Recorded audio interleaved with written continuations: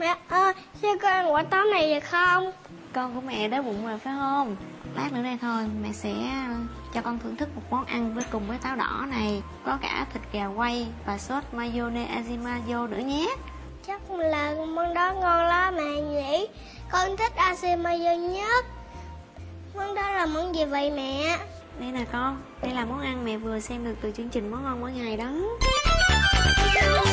Chào đón tất cả quý vị đang đến với chương trình Món ngon mỗi ngày được tài trợ bởi công ty Ajinomoto Việt Nam. Hôm nay chúng ta sẽ cùng nhau thực hiện món salad thịt gà trộn táo đỏ. Món này chắc chắn sẽ thu hút được các bé ăn nhiều rau đây. Nghe ngon quá cô à, vừa có thịt gà vừa có táo đỏ nữa. Vậy thì quý vị ơi, chúng ta hãy cùng nhanh nhanh đến món ăn ngày hôm nay nha. Đó là salad thịt gà trộn táo đỏ. Để thực hiện món ăn này thì quý vị khán giả cần chuẩn bị những nguyên liệu rất là dễ tìm. Đó là 200g thịt gà quay, một trái táo đỏ, khoảng 6 lá xà lách, 6 cái trứng cút, một ít bánh mì crouton, tương cà, các loại gia vị thông thường và sốt mayonnaise aji mayo.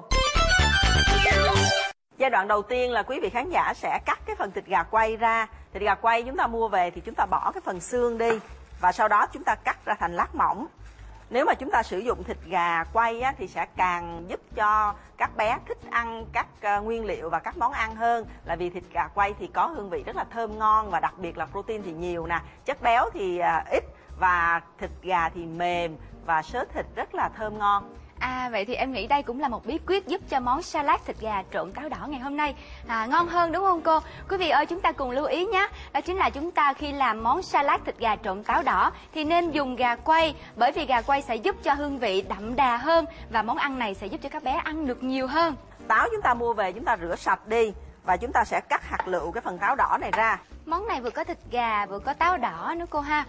Các bé sẽ ăn được ờ, thịt gà nè rồi ăn được các loại rau củ nữa.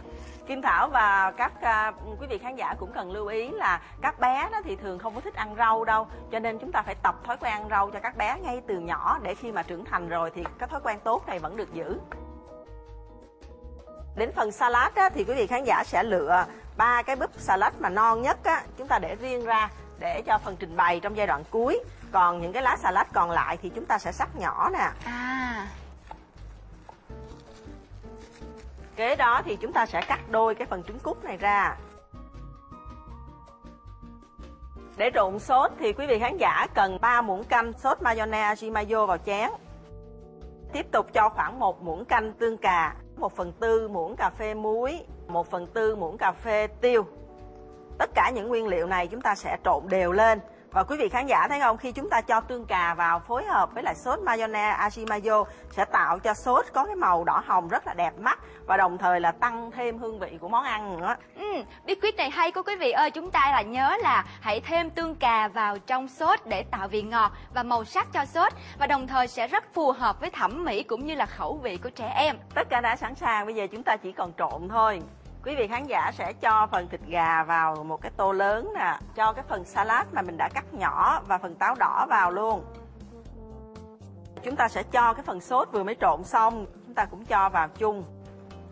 Sau khi mà đã trộn đều tất cả các nguyên liệu lên thì bây giờ sốt đã thấm đều một cái lớp bên ngoài tất cả các nguyên liệu rồi. Trứng cút này chúng ta có thể cho bớt một ít vào. Bánh mì crouton chúng ta cho một ít vào búp salad lúc nãy á, thì chúng ta sẽ bày ra dĩa.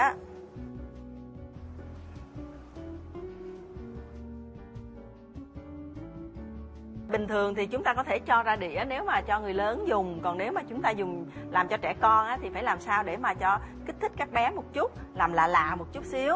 Có nghĩa là chúng ta cho salad này mỗi phần nhỏ vậy vào một cái búp salad như thế này. Kế đó thì lại mới cho thêm cái trứng cút lên trên nè. Tại vì các cháu thì thích ăn trứng cút lắm. Và một ít bánh mì crouton lên. Thêm một ít cái lá húng lủi và như vậy thì à, các bé khi mà nhìn thấy những cái phần nhỏ nhỏ xinh xinh như thế này các bé sẽ rất là thích và kích thích cái sự hiếu kỳ của các bé và đặc biệt là sẽ không bị ngán nữa cô ha ừ.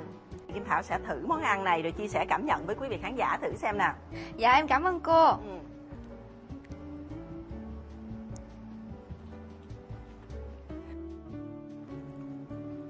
Món này ngộ lắm cô ừ. Nó nó quen quen mà nó lạ lạ nó em nói quen là em ăn cái vị thịt gà quen nè Ừ. vị táo đỏ cũng quen nè trứng cút bánh mì ru tông đều quen hết Ừ. nhưng mà khi nó phối hợp với nhau nó trộn với nhau hòa quyện với nhau kèm theo uh, sốt achimayo nữa nó béo béo chua chua tạo nên một cái hương vị rất là đặc biệt mà em nghĩ là món này á không phải là các bé thích đâu mà là cả người lớn cũng thích luôn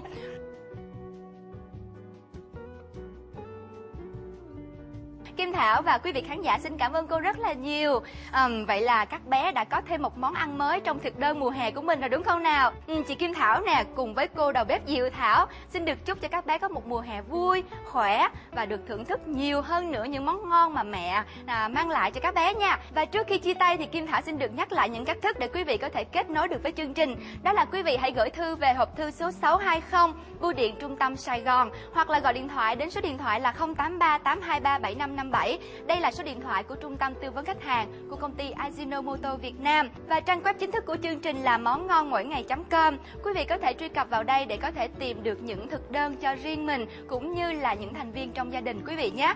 Hoặc tìm từ khóa món ngon mỗi ngày để đến trang web của chương trình. Và còn một điều đặc biệt nữa đó chính là Từ nay đến 12 tháng 10, mời quý vị tham gia cuộc thi trổ tài với món ngon mỗi ngày với trị giá giải thưởng chung cuộc 30 triệu đồng. Quý vị có thể truy cập vào trang web món ngon mỗi ngày.com để có thể tìm hiểu thông tin chi tiết về cuộc thi này. Còn bây giờ thì thời lượng của chương trình cũng đã hết rồi. Kim Thảo cùng với đầu bếp Diệu Thảo xin được nói lời chào tạm biệt tất cả quý vị. Hẹn gặp lại trong những chương trình kỳ sau.